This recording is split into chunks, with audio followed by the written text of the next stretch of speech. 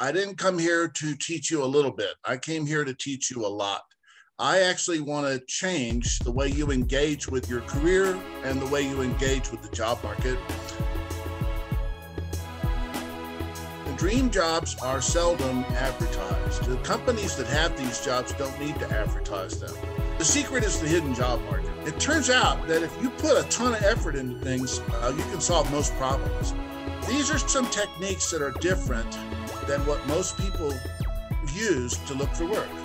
I invite you to use the tools, use the examples, change the way you look for work. That doesn't mean you won't end up taking a position that requires a, a, a posted opening, but it does mean that you're going to be out there doing completely different things.